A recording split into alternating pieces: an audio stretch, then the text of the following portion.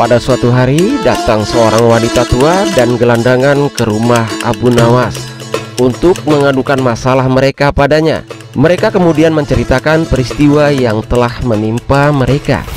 Setelah mendengar pengaduan mereka, Abu Nawas meminta mereka datang kembali nanti malam bersama teman-temannya dengan membawa cangkul, kayu, kapak, martil, dan batu. Wanita tua dan pemuda gelandangan itu merasa heran dengan permintaan Abu Nawas. Namun, mereka begitu percaya kepada Abu Nawas. Mereka yakin Abu Nawas dapat memecahkan persoalan yang mereka alami. Abu Nawas selalu membela orang yang lemah. Mereka percaya karena mereka berada di pihak yang benar. Pada malam harinya, wanita tua dan pemuda gelandangan datang bersama teman-temannya. Jumlah mereka sangatlah banyak. Mereka datang sambil membawa benda-benda yang diminta Abu Nawas. Mereka berkumpul di depan rumah Abu Nawas menunggu perintah selanjutnya. Abu Nawas selalu menyuruh mereka untuk menghancurkan rumah Pak Hakim. Abu Nawas melarang mereka berhenti jika rumah itu belum benar-benar hancur. Semua orang keheranan mendengar perintah Abu Nawas, namun mereka tetap menuruti perintah itu. Dan orang-orang itu segera pergi menuju rumah Pak Hakim. Mereka berteriak-teriak sambil menghancurkan rumah Pak Hakim. Penduduk yang tinggal di sekitar rumah Pak Hakim tampak kebingungan. Mereka bertanya-tanya apa yang sedang terjadi. Penduduk pun berusaha mencegah perbuatan orang-orang itu, namun mereka tak mau berhenti melakukan pengerusakan rumah itu. Penduduk akhirnya hanya pasrah dan membiarkan mereka melakukan keinginannya. Pak Hakim terkejut melihat banyak orang ingin merusak rumahnya. Pak Hakim segera keluar rumah dan menemui orang-orang itu. Pak Hakim sangat marah.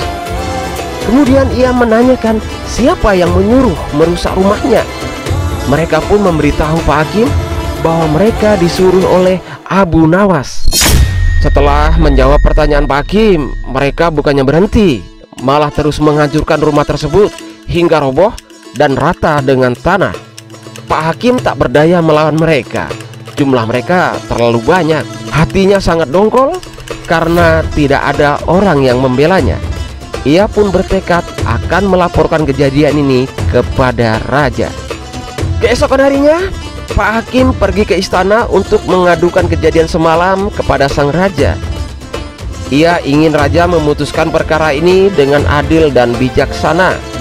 Raja pun memerintahkan prajurit untuk memanggil Abu Nawas. Prajurit kerajaan segera menangkap dan membawa Abu Nawas ke istana. Abu Nawas memang sudah tahu akan dipanggil oleh raja. Ia sudah mempersiapkan diri jika ditanya oleh sang raja. Ia pun bersikap sangat tenang. Raja menanyakan, apakah Abu Nawas yang menyuruh orang-orang untuk merusak rumah Pak Hakim? Abu Nawas mengakui perbuatannya itu tanpa rasa takut sedikit pun. Raja bertanya mengapa ia melakukannya. Abu Nawas lalu menjelaskan kepada raja, pada suatu malam Abu Nawas bermimpi. Di dalam mimpi itu, Pak Hakim menyuruh Abu Nawas untuk menghancurkan rumahnya. Pak Hakim menginginkan rumah yang lebih besar dan lebih indah. Karena mimpi itulah, maka Abu Nawas menghancurkan rumah Pak Hakim. Tentunya dengan pengakuan Abu Nawas, raja merasa heran. Raja menanyakan apakah ada aturan yang memperbolehkan seseorang melaksanakan perintah dari dalam mimpi? Dengan tenang Abu Nawas menjawab bahwa ia menjalankan aturan yang dibuat oleh Pak Hakim sendiri. Wajah Pak Hakim seketika menjadi pucat mendengar jawaban Abu Nawas.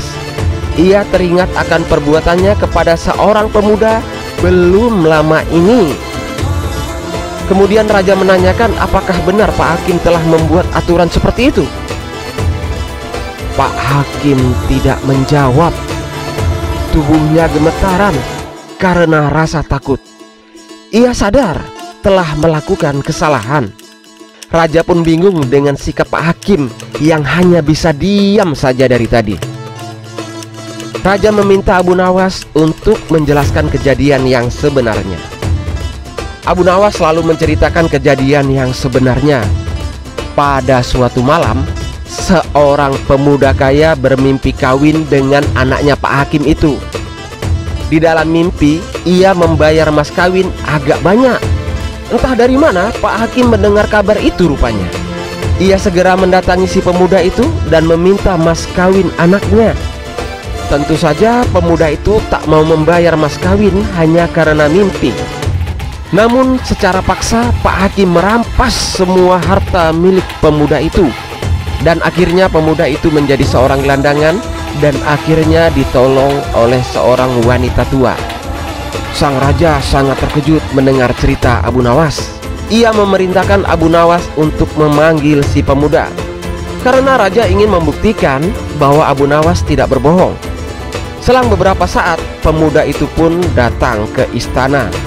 Abu Nawas segera memanggil pemuda itu ke hadapan raja.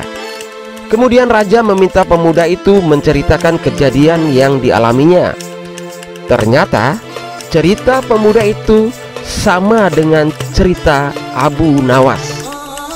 Raja tentunya sangat murka. Ia telah salah mengangkat hakim yang tamak dan sewenang-wenang hakim itu dipecat dan seluruh hartanya diberikan kepada si pemuda itu. Pemuda itu sangat senang karena hartanya sudah kembali menjadi miliknya kembali. Ia ingin membalas kebaikan Abu Nawas yang sudah menolongnya. Ia akan memberikan sebagian hartanya sebagai hadiah. Namun Abu Nawas menolak pemberian pemuda itu. Ia menolong dengan tanpa pamrih.